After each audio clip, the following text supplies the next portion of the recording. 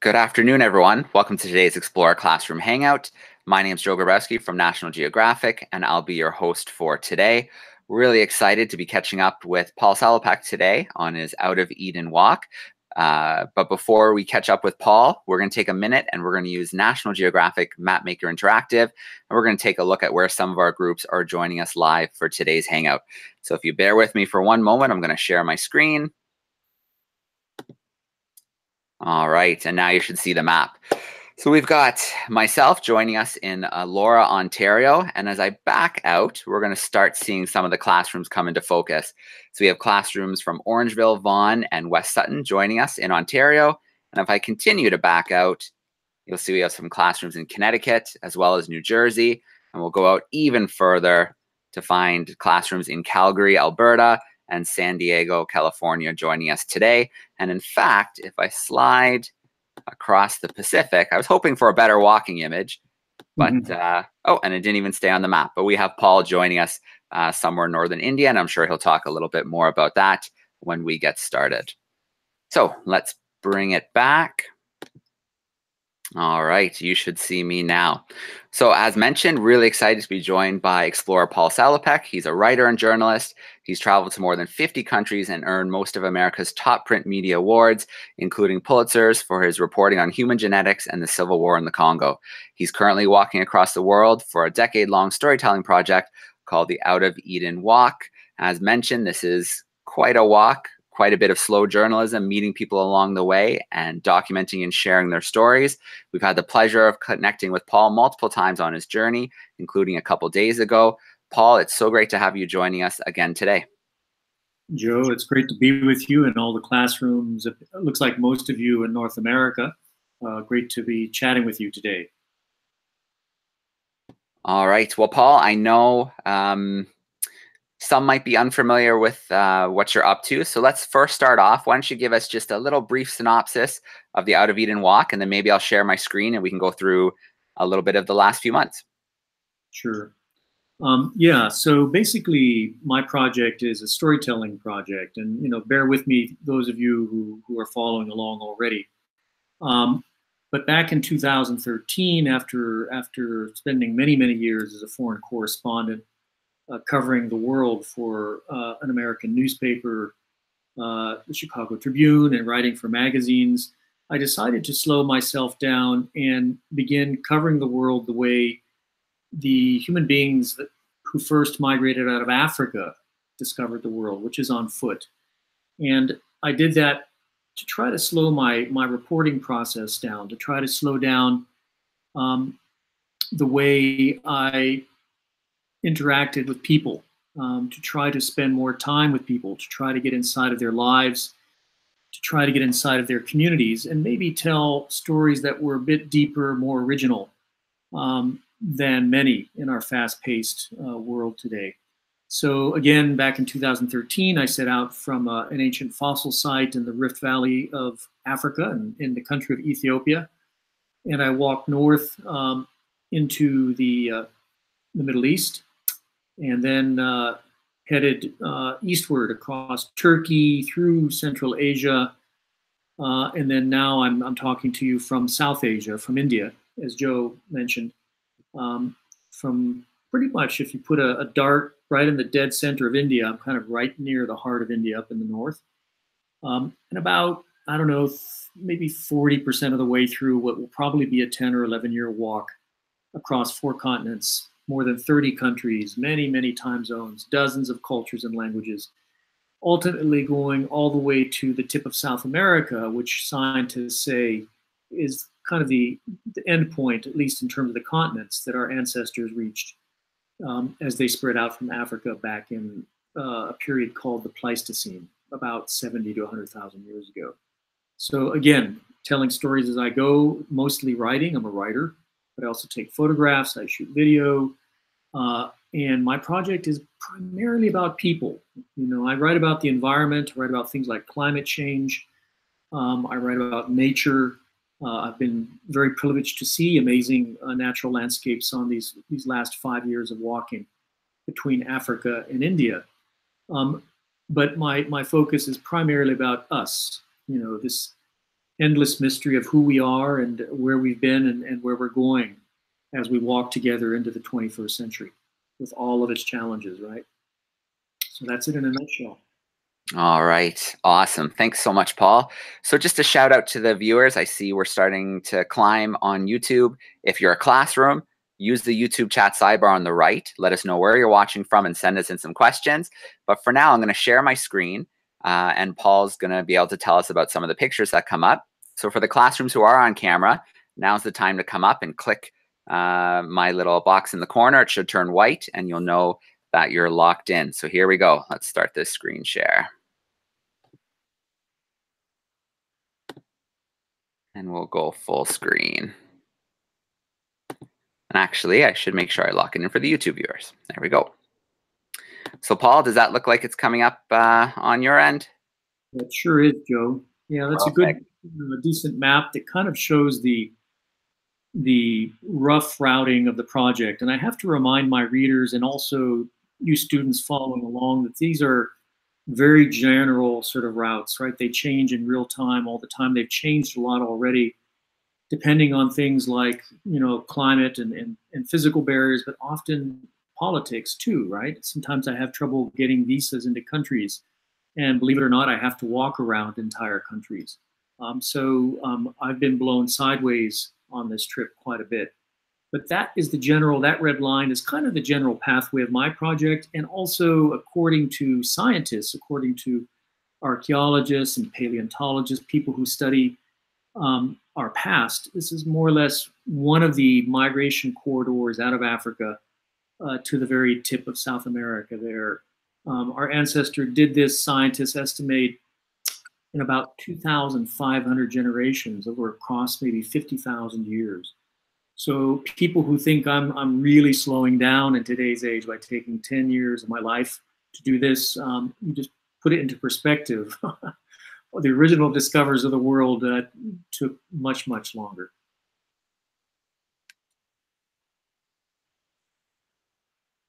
So the last time uh, Joe and I spoke with many of you uh, was from Central Asia. I was, uh, I think the last time we did this, Joe, um, barring just a couple days ago, I was in the country of Kyrgyzstan, um, one of the Central Asian republics. And so I just wanted to show some pictures of, of the extraordinary landscapes of Central Asia. Um, this one is actually in Afghanistan. So what I did was I walked out of Kyrgyzstan across four major mountain ranges, the Pamirs, uh, the Hindu Kush, the Karakoram, and then back in the Kyrgyzstan, the Alai range as well. And what you're seeing there um, is just some of the gorgeous um, scenery of, of a very remote corner of Afghanistan called the Wakhan Corridor, which, which I'm happy to talk about, take your questions about later. Afghanistan, as you guys know, is often in the news because there's a civil war there uh, that's been going on a long time. Um, international forces uh, are involved there, including American troops. Um, and I was there um, way back 16 years ago to cover the outbreak of the war. Um, on this project, this was my first return to Afghanistan, and it was a very, very different kind of a, a visit. Um, in a strange way, kind of a home, homecoming, um, because Afghanistan left such a strong impression on me 16 years ago, and a very, very different one. One that that changed from war coverage into more like um, covering a, a, um, a very pristine alpine landscape inhabited by pastoral nomads, conducting a very um, old way of life. Next image. So more of the same. This also is in Afghanistan. Um, this is a beautiful uh, um, valley, part of the Wakhan corridor. Um, you're, what you're looking at there, the tops of those mountains, right along the very rim of the tops, of those ridges is the border of Afghanistan and Pakistan, right? So I'm standing in Afghanistan looking east um, into Pakistan, a country that I would um, be walking into, you know, weeks after this picture was taken by going over that same mountain range. Very beautiful part of the world. Next image. And this is an image of where I am now, just kind of how it's changed, right? Now I'm down in the Great River Plains of South Asia um, after having crossed um, the mountains of Central Asia, after having crossed what is essentially extensions of the of the Himalaya, Himalaya mountains, the highest mountains in the world, right? That includes Mount Everest. Um, this is a city in India, uh, Jaipur, with very very classic, very um, famous architecture. Um, and you can see the landscape just looks much different. It's flat, it's much wetter, um, and it's just much more subtropical here in India. Next image. Jumping around a little bit, this takes us back up into the mountains. Um, I just wanted to show you some of the method of travel that the Out of Eden Walk um, requires. Now, I, I walk with a rucksack. Um, I try to keep it pretty light. Because I'm a storyteller, because I'm a journalist, the majority of my weight um, is basically electronics, right? I'm using a small lightweight laptop to talk to you guys on right now. Um, I carry some equipment like uh, you know digital recorders. Um, I carry extra batteries, stuff like that.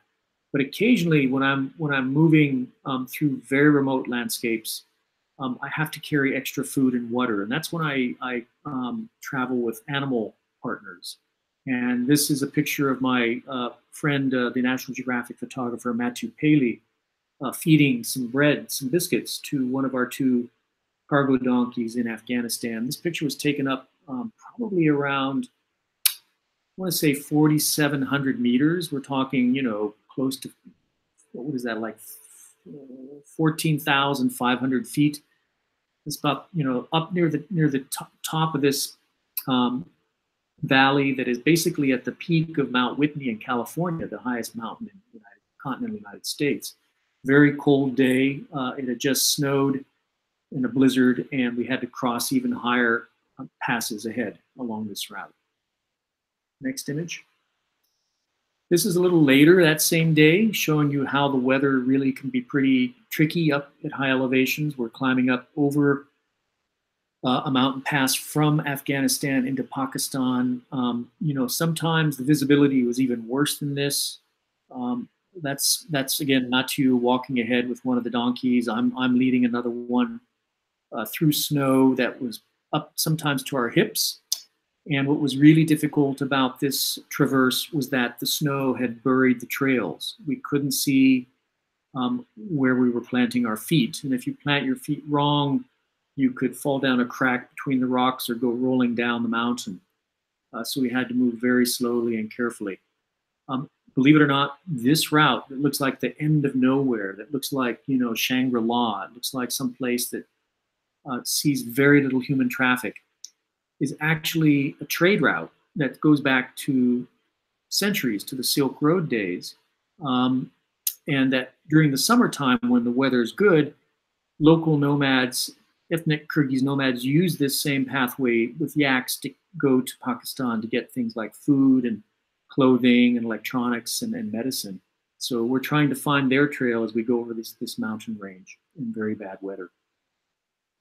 And this is the very top. We, we were rewarded, Matthieu and I, uh, at the summit just before sunset. We had 30 minutes of, of good light when the, when the clouds uh, lifted. And that is, in fact, the summit. This is this is literally the border between Pakistan and Afghanistan. It's the middle of a wilderness. It's the middle of the Hindu Kush Karakoram mountain range. There is no road. There is no immigration checkpoint. There's no you know customs officer. It is just wild, beautiful, rugged mountains as far as the eye can see. Next image. And that's just a picture of Matthieu and I at that same spot celebrating uh, having reached this kind of milestone in the journey. Um, I see it really that this mountain pass was kind of the end of Central Asia to me. And from here on now, I was rolling down glacial valleys into South Asia through Pakistan, uh, following big rivers that were filled with glacial melt that would eventually empty into the mighty rivers that you guys probably have heard of through your geography classes, uh, the, the Indus River, um, that's that is shared both by India and Pakistan. Uh, these mountain valleys, these glaciers feed into that river. Um, and now, again, this is kind of coming down from that, that, high elevation to more or less the region that I'm in now. Um, this is uh, Rajasthan in India. And I've been walking through India for about five months. I've covered about more than 1,500 kilometers, maybe something like 1,800 at this point. Um, and that's one of my walking partners on the right. That's Priyanka Borpujari talking to a mom who is taking care of a farm while the men are away um, um, working as migrant laborers. And what was interesting, the reason I'm showing this picture is that this farm and this region was inhabited mainly by women because the men had left to go work in the cities. And so you had kind of female societies who were taking charge and, and were making all the decisions about how to keep uh, these farms running. It was an interesting part of the trail. Next image. And this is just a uh, just kind of a pretty picture of, of the beautiful architecture here in India. India is one of the oldest civilizations in the world. It's you know it's contributed so much in terms of art and sculpture and music and and religion and, and uh, storytelling. Uh, this is a this is a haveli, uh, kind of an old trader's home in a small village, typical of kind of the, the communities that we've been walking through um, in, for the last several months um, through northern India. And I wanted to show this one just to show also to give due credit to my guides. You know, you saw Matthieu uh, uh, and I at the top of the mountain. What's cool about this picture is that the figure in the blue and red is another female guide. You know, one of the great parts of the last stretch of the trail, say for over the last year and a half, is that I've been able to walk with women for a change. You know, it's been difficult um, coming uh, from through the Middle East, through parts of Central Asia, because they're they can be um, very conservative rural societies uh, practicing Islam, where it's difficult for me to make connection with 50% of humanity, right? Because of gender barriers, cultural barriers between men and women. And this I wanted to show. Um, this was an amazing young woman, uh, Furo, uh, who is Tajik um, from the Pamir Mountains, and she's uh, consulting with our donkey wrangler um, on a morning when our donkey escaped. we woke up to that that view out of our tents, and our donkey was nowhere to be seen, and so we're trying to find the donkey again.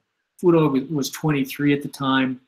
Um, she walked about 400 kilometers, around 240 miles with me through the Pamirs most of it in sandals. She was tough.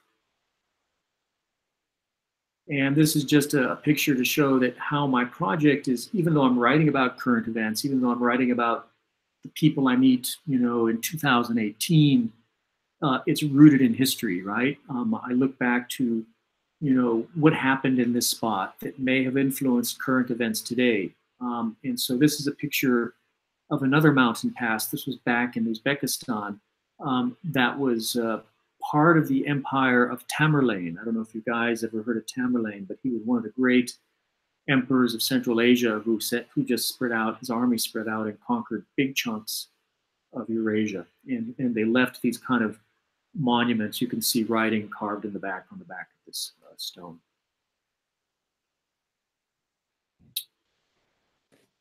Is that it? I think Joe. Is there? I think that's it. Is there, oh, there's a video. That's it for the slides.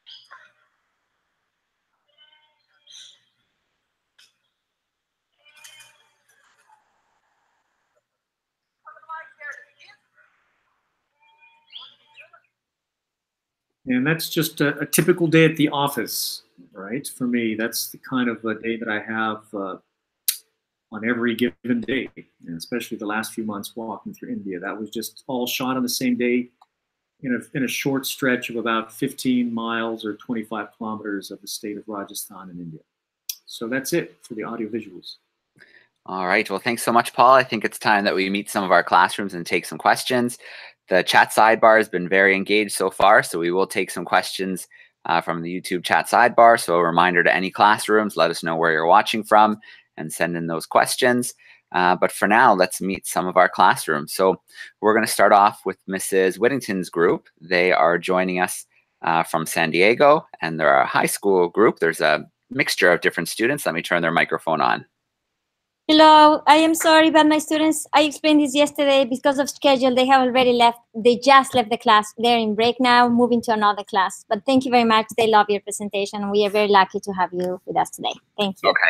And they were able to tune in. They enjoyed it. Yes, thank you very much. Thank Perfect. you. Thank you. All right. Well, let's jump to our online community because we do have a classroom there queued up and ready to go. So there's a group joining us in Chicago.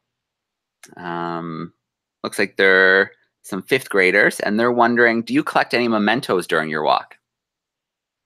Yeah, interesting question. That's the first time anybody's asked me that. Um, normally, I don't. Um, think about it. If you're walking across the world and all you have is a rucksack to carry stuff in, you can't really be um, collecting too many souvenirs. Um, so I generally don't. Um, I have surprisingly few. My main uh, uh, souvenirs are are are these guys. If you can see them, right? It's my it's my journals. So I collect stories that at least physically don't weigh anything except the ink on paper. Um, occasionally, a very special gift is given to me by somebody who I've become very close to in the course of the walk. Um, in that case, that gift has emotional value. And, and of course, then I would keep that. And those I, I, I send back. Um, they're being kept by a colleague uh, back in the States. Maybe eventually, uh, by the end of the walk, to be exhibited um, in some sort of a, you know, kind of a museum exhibit. All right, great question to start us off from the YouTube community. So let's jump to Mrs. Pearson's class. They are joining us uh, from Calgary, Alberta. We got some grade four and threes joining us. Let me turn their microphone on. How we doing, Calgary? Yes. How you doing? hey guys, How cold is it in the mountains? how cold is it in the mountains? Okay, it it it got this cold that one day on top of a mountain pass, even wearing heavy snow pants, even laying inside of a sleeping bag, even putting that sleeping bag inside of a tent, my clothes still froze on me. That's how cold it was. So it was really, really cold. That was a night that I didn't get much sleep, as you might imagine. Good question. All right, another shout out to you two. We've got some fourth graders in Albuquerque, New Mexico joining us. So don't forget to send us in uh, a question. We also have someone joining us in Vermont, and there's some questions coming in. So we'll get some of those questions as well. But let's go to a new live classroom. This time we'll go to Mr. Sinisi. He is in Vaughan, Ontario with some grade 11 students. Let me turn their microphone on. How are we doing, grade 11s? Hi. Hi, we're good. Hi. Um, so I know there were a lot of like landslides recently in India. Were you affected by that on your journey? Yeah, no, I was out of the mountains by the time those uh, slides came in. Um, so fortunately, I, I was not affected by them. You know, as as climate changes uh, in this part of the world, it, it, affects a lot of things. I mean, it's also a very earthquake-prone part of the world.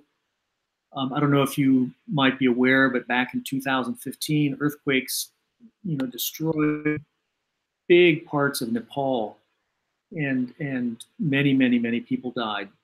Um, again, I was very lucky um, that I did not get caught in an avalanche. I did not get caught in a mudslide, um, but I walked over parts of that landscape where it had just recently happened, and where it was pointed out to me there'd be like a fresh gash in the side of a mountain, just you know raw stone, where the previous year or two there had been a village and it was just completely swept away. So it's pretty pretty sobering.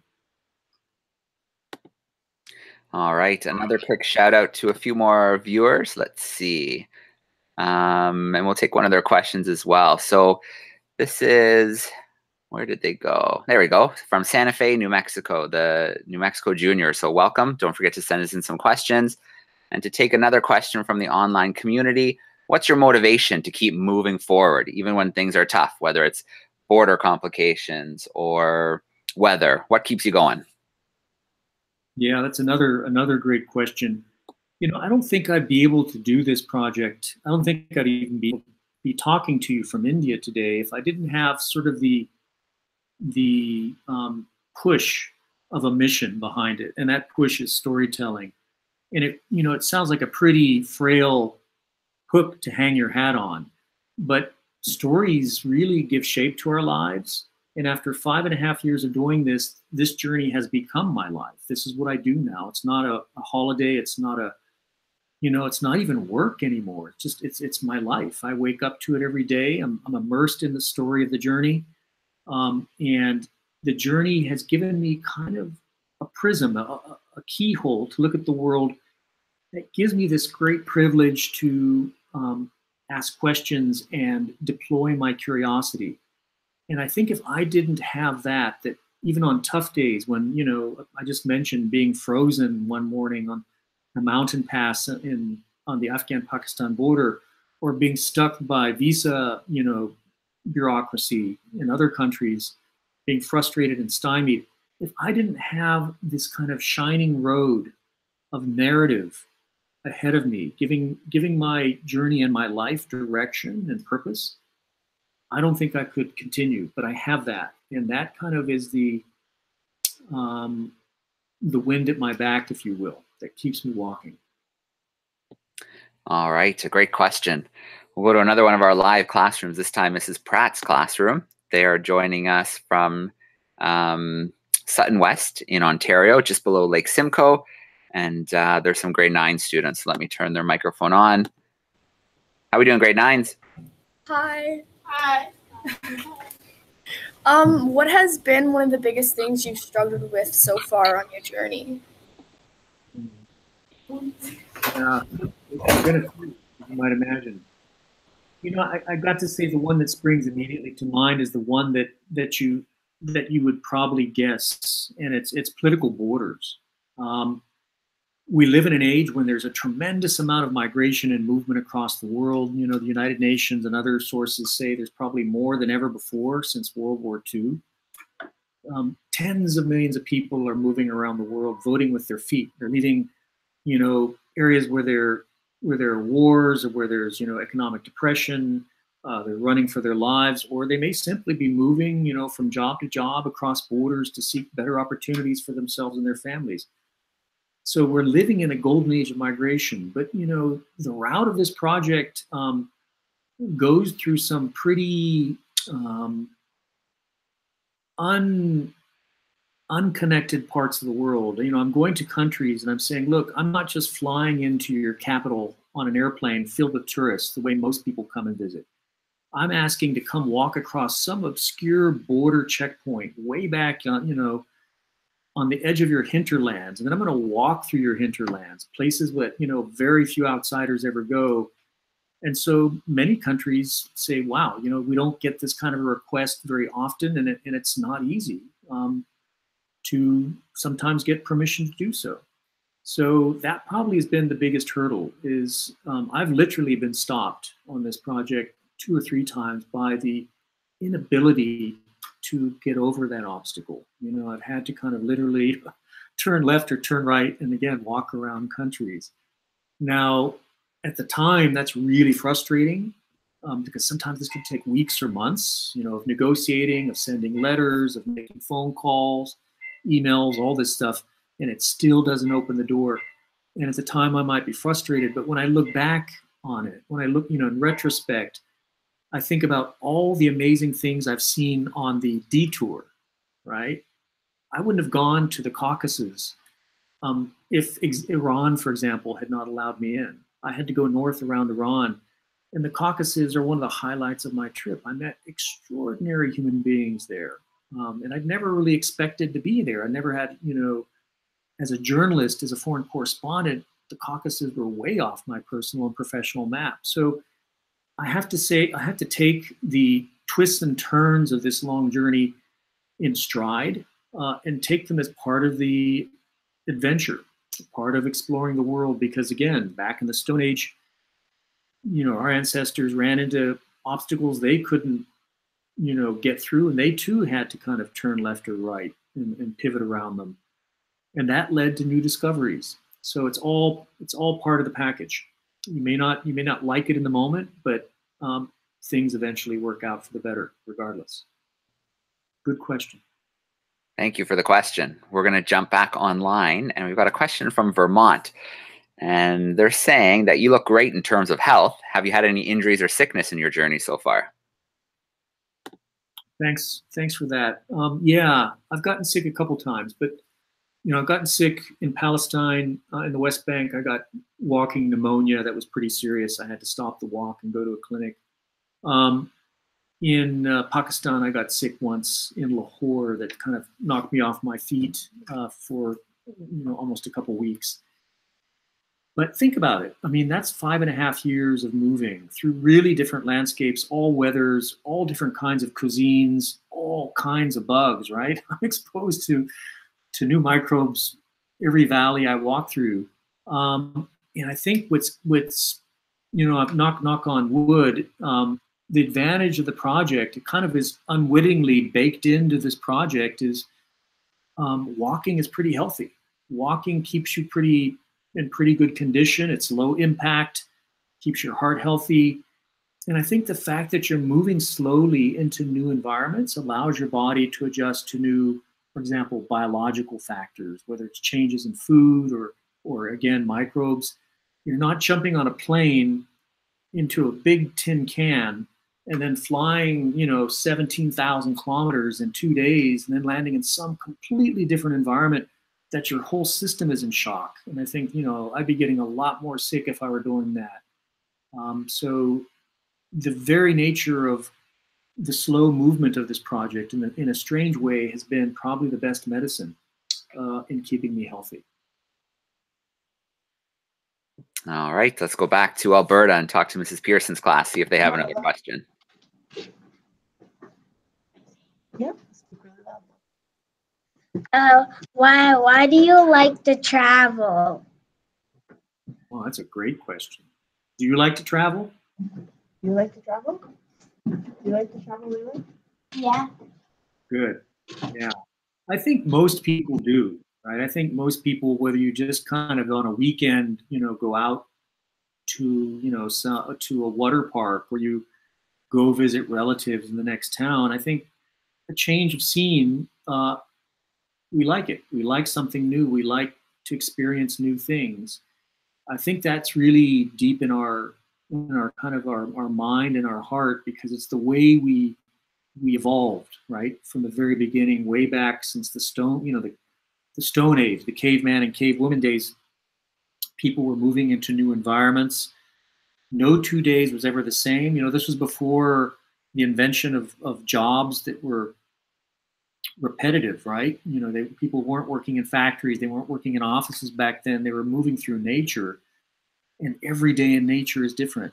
even if you're moving in the same environment, whether it's a forest or a desert, if you're out walking in it, I can guarantee you, and you probably know this if you go hiking, no two days are ever alike.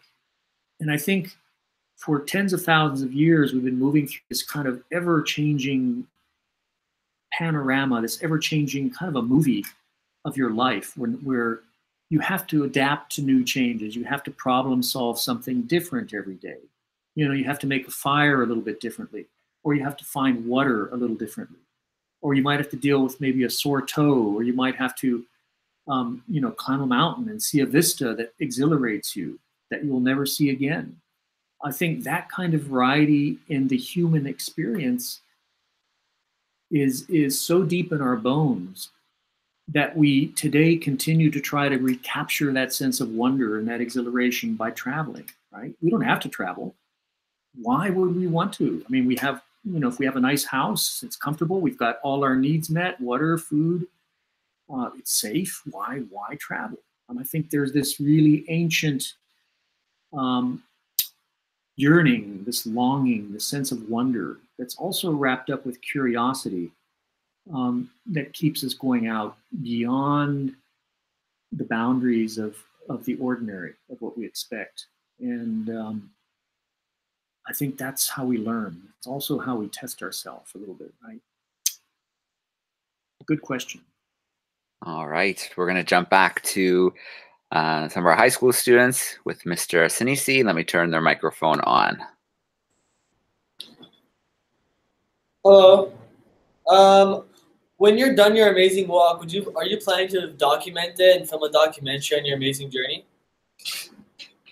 Hi. Yeah, good. A good another good question. You know, I'm I'm documenting pretty intensely right now through one medium, which is writing. I'm a writer, so um, my editor tells me that um, if you add up all the words that I've written, and as you may or may not know, on our website, there's like a more or less a weekly dispatch. Sometimes it goes a little longer, two weeks. Sometimes there's like two dispatches a week, more rarely. Um, but if, if you know, if, if when he added up all the words, it's pushing 300,000 words now. That's a lot of storytelling. That's like three books. If you think a book is 100,000 words, I've written three books already about the journey, and I'm not even halfway there. So um, there's that, and then I've been I've been recording a lot of video, um, much more so since um, I've been using you know one of these. I used to have a bigger video cam, but you know the technology of iPhones has gotten so much better um, that I'm using that to shoot most of my video. And then I also take you know thousands and thousands of photographs. I also record audio. So you know, believe it or not, I can't cram in any more recording. I can't do anymore because I do so much. My days are filled with taking notes. Um, you know, I, I use these primarily, this ancient technology of a notepad and a pen. Why? Because um, you don't need batteries for this. If you're out in the wilderness, so if it gets wet, it still sort of works, um, as opposed to some electronic recording device but I have dozens and dozens of those notebooks filled with interviews, filled with observations. Um, it's a pretty carefully recorded project. Now, if you're if you're asking, is like a documentary film going to be made? Is like a movie, something on that nature? Maybe. Um, I mean, there's been little pieces and bits of it that have been recorded uh, in that medium. Um, in the United States, PBS has aired a few segments about the walk. Um, I know there's a um, there's a guy who's you know collecting string on on doing a documentary right now in California.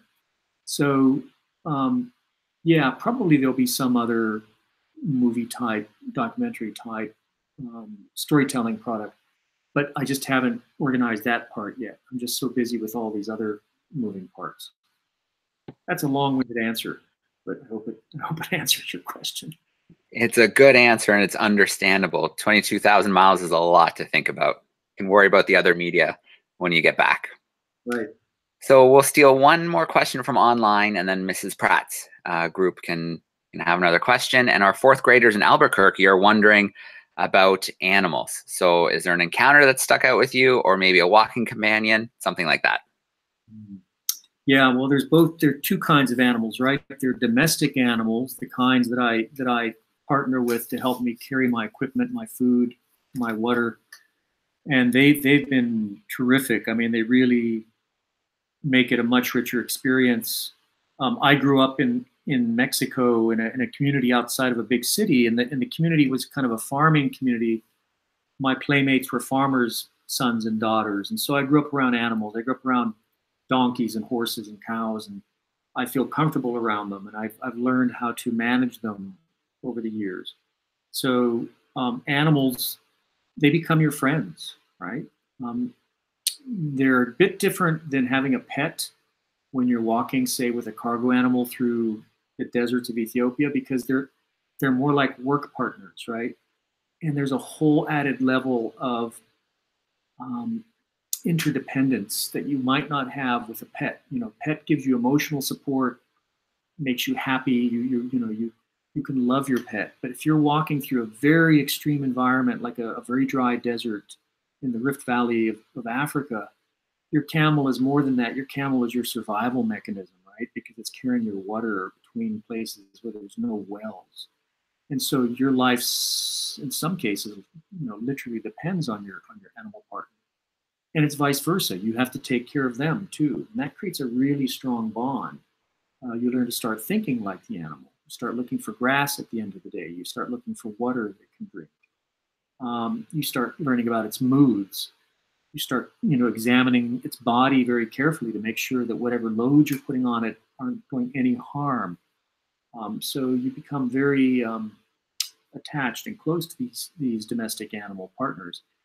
If you're talking about wild animals, um, you know, sadly, at least along much of my route, um, there weren't that many, and I've written about this. It's a, it's one of the great, um, you know, melancholy parts of this project is how much we've changed the world to the degree that I can walk hundreds or maybe even thousands of miles without seeing any major big wild animals. Um, I can see wild birds, I can see, you know, lizards and insects. Um, but, you know, the big animals that used to be there back when the Stone Age people walked through, the people I'm following are long gone along much of my route. Their ranges have shrunk into tiny little islands called national parks. Um, and that's about it. All right, and Mrs. Pratt will give you a final word. Have a question? Oh yeah. what are the issues with water you've encountered? Water issues. It's, it's crucial. That's a crucial question. Um, you know, you can't go without water for very long. Um, I think the the biggest problem I had was in Saudi Arabia, um, where one day we had to walk about um, about 30 miles uh, to find water and through a desert, and it was that was probably the hardest day of the last five and a half years, and we were all really thirsty. Um, I remember in India, I crossed a few months ago the Thar Desert with my Indian walking partner Arati Kumar Rao. And at the end of a very hot day, we reached a village that had a small mom and pop store. And it had the store, you know, had a, a cooler in it with cool drinks in it. And I just remember we each sat there and I drank eight lemonades. She drank seven. I think I beat her, but we did it all all at one sitting because we were so dehydrated. Um, so on a personal level, water is crucial. You know, it's the biggest. I mean, that's the biggest danger. You can get really very sick and, and get in big trouble fast if you're not hydrated. And then the last thing I'll say very quickly is that water in general, kind of outside of my personal experience as a walker, water for humankind is a huge issue that's so underreported. Guys, I mean, all of us are going to face this problem. It's it's really just under the surface. It's kind of invisible. It's easy to ignore. But here in India, 600 million, 600 million people live in some form of an extreme water crisis where they don't have access to water or clean water. Um, that's double the population of the United States. And we just have to find some solution where we conserve water, we use it better, um, and uh, it's not being done. I'm sorry to say, we're, we're kind of living in denial. Good question. All right. Well, a huge thank you to both our live classrooms uh, as well as the classrooms participating on YouTube for the great questions. Thank you so much.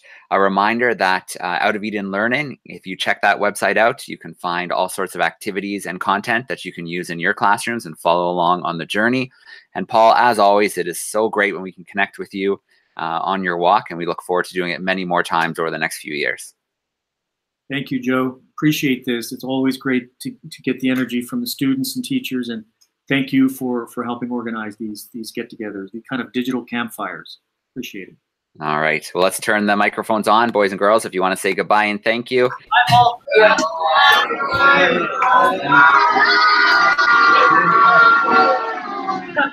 right. Once again, thanks everyone for joining us. Thank you so much, Paul. And we're going to sign off for today.